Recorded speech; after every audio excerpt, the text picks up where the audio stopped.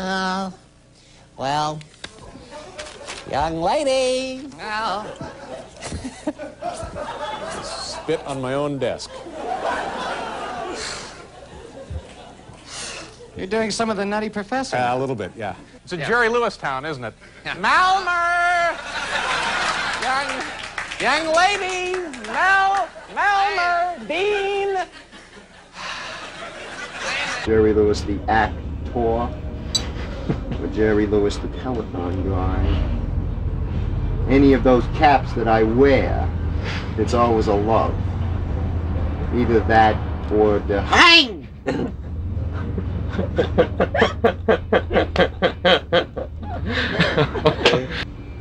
that feeling that what it is that a creative person does, whether that be as an artist or as a creative Source. you could say source, that's your word. Genius.